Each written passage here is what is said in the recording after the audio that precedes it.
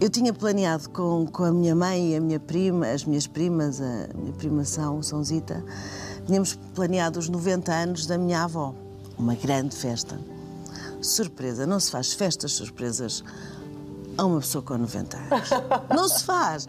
Porque de repente, reparem, uma grande festa com toda a família, os primos todos, os netos, os O bisnetos. caju, O caju ainda não, ainda não, Ainda não não sei onde é que ele andava nessa altura. Agora está connosco. E então hum, fazemos essa grande festa. Agora pasmem-se.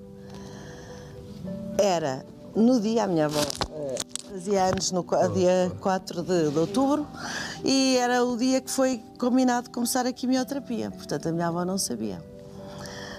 Eu pedi ao doutor Emanuel Gouveia do IPO, eu peço imensa desculpa, mas não podemos adiar.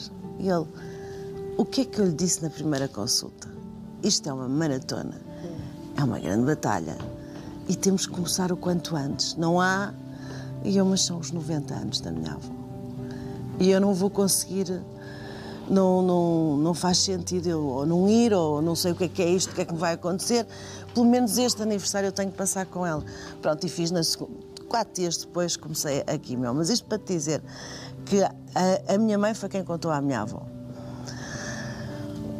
de- da- do cancro, mas ela comigo sempre foi impecável, não, mas eu sei que ela que foi que se foi abaixo, como o meu pai também, como a minha mãe também, mas mas foi sempre assim de um modo em que eu não senti se eles estavam comigo presencialmente, faziam por E não queriam mostrar eh, o sofrimento, se calhar, não é? Ah.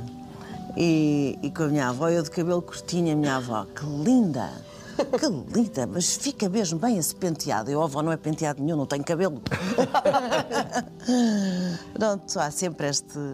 Na minha família também há sempre o lado do humor, que é muito importante.